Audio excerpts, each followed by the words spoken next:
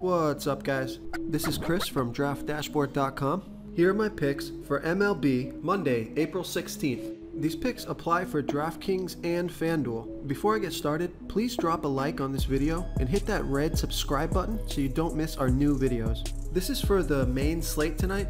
Okay, at pitcher tonight, I like Blake Snell, facing the lowest salary batting team in the league. Blake has a 11% pitching advantage because he pitches exceptional to lefties, and he's facing four lefties today. You can save lots of salary with Blake at 7,800. You will have plenty left over to stack your batting talent.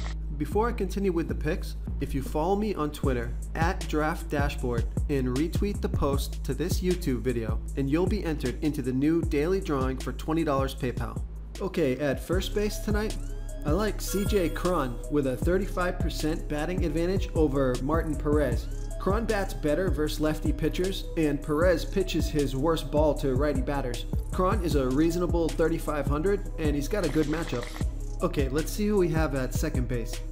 I like DJ LeMahieu with a 44% batting advantage versus a low salary pitcher in Steven Brault. DJ bats 24% better versus lefty pitchers, and Brault throws 19% worse versus righty batters.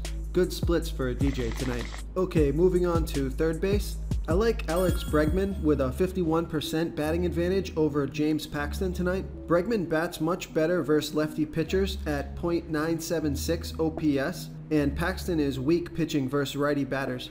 Paxton's no slouch pitching, so this play is based on the favorable splits. If you want to try all these daily fantasy tools for yourself, click the link in the description below this video or just go to draftdashboard.com.